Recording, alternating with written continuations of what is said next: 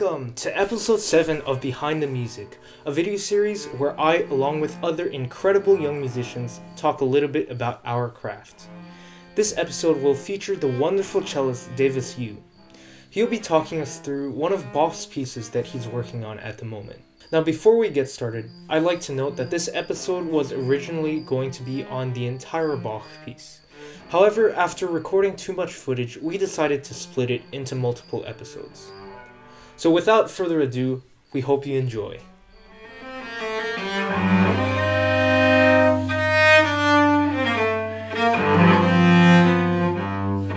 I got to meet Davis during From the Top back in 2019, and it was an absolute privilege. So, thank you so much for joining us today, Davis. And uh, why don't you introduce yourself a bit?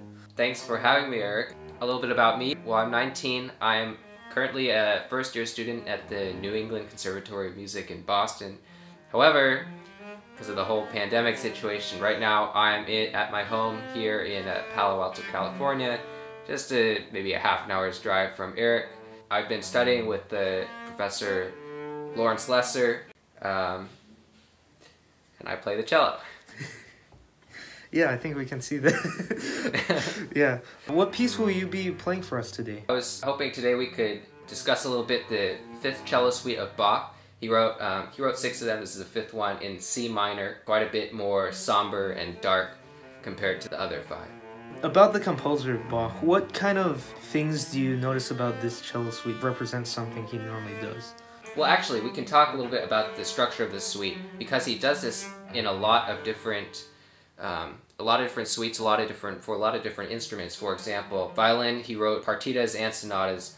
They kind of follow this kind of same idea of a collection of pieces, often with a prelude and then a bunch of dance movements after that. So this this fifth suite, it's a prelude and then an allemande, a courante, a sarabande, two gavottes, and a jig to make out a six movement piece. So that's very typical of Bach. For example, in the in the first movement, we have something Bach is very famous for, and that is the fugue. About like 75% of the first movement is a fugue, which is interesting because fugues are usually in three, four voices, and we can only really play one at the cello. But he does this so masterfully. It's something Bach can really do well. Is write in a fugue for for really any instrument.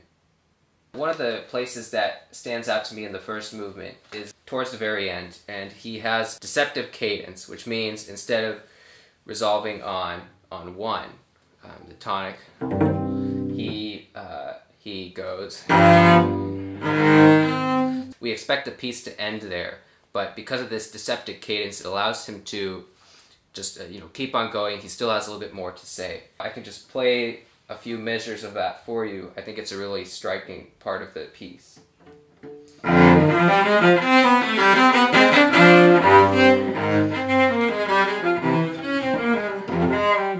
And then he keeps on going for another minute or so. It's something Bach does a lot, and actually a lot of composers after him copy this technique too of uh, um, a deceptive cadence and totally switching the character. It's a very surprising um, moment, something that definitely sticks out to you in the entire suite.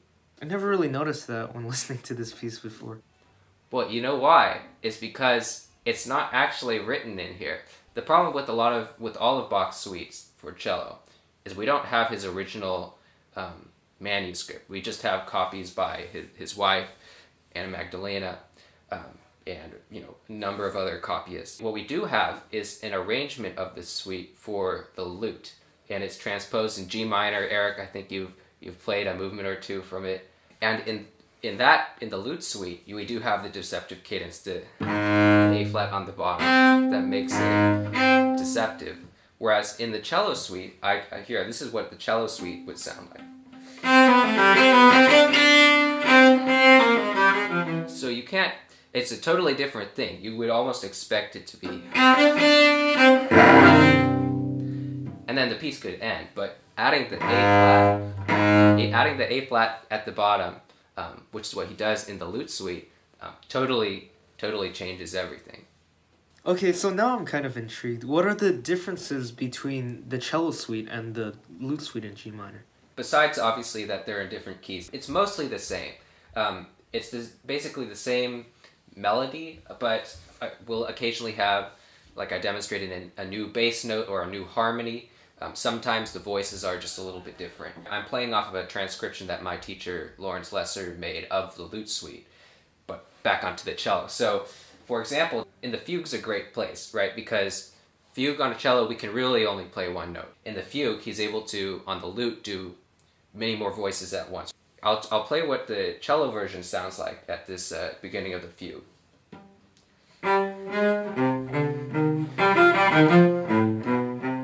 So that's the first, uh, first subject, first voice. That's unchanged in the lute suite. But then that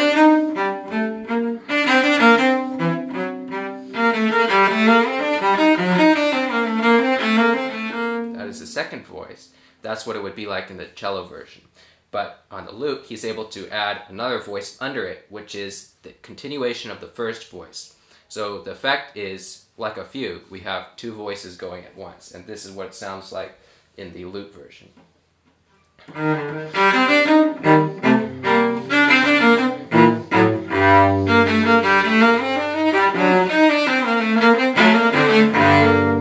And so you can hear there's a, a whole nother bass line, and that would be the first voice. Uh, that's a great example of a key difference between the lute suite and the original cello version.